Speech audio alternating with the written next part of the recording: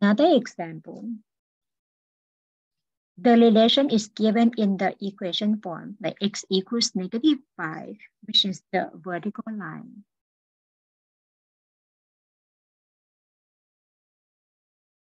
We can plot on the xy plane. Negative x is expected to be negative 5. It doesn't matter no matter what y gonna be. So we have the vertical line test to represent the graph of the x equals negative 5.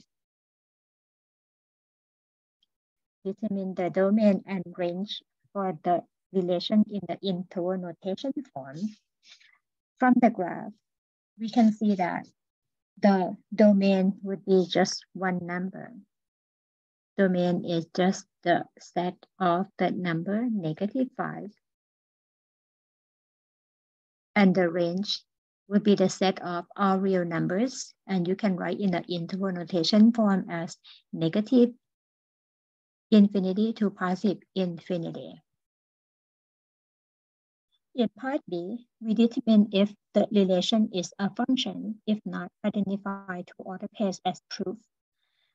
Based on the graph, the graph does not pass the vertical line test because only one vertical lattice that we can use in this case, and also sure enough that there are at least two order pairs.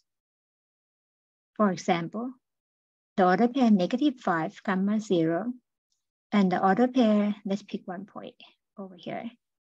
Uh, let's see, the x is still negative 5, the y changed to the positive 6, the same x coordinate or the first coordinate is mapping to two different values for the second coordinates. We say that the relation is not a function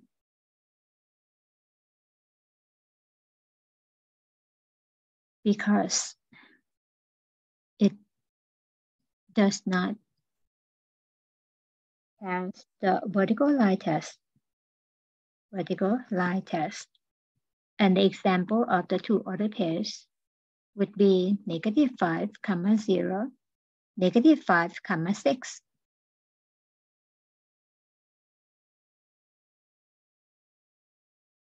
Another scenario where the given relation in the form of y equals 3, this case is in the form of the horizontal line. We plot the graph, y doesn't change, but x can be any number. y equals 3 when x equals 0, y equals 3 when x equals 5, y equals 3 when x equals negative 10. So that means no matter what x value gonna be, the y always fixed to be the value 3. the domain for this relation would be the set of all x values or the set of all first coordinates. In this case, we can see that x could be any value, or we can say it's a set of all real numbers, negative infinity to positive infinity. The range is fixed to only one number, which is the value y equals 3. In part B, we determine if the relation is a function. If not, identify two order pairs as proof. We're gonna use the vertical line test.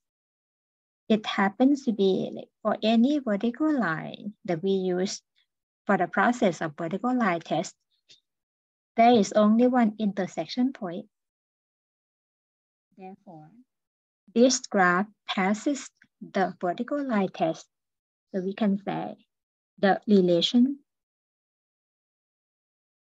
is a function because the graph passes the vertical line test.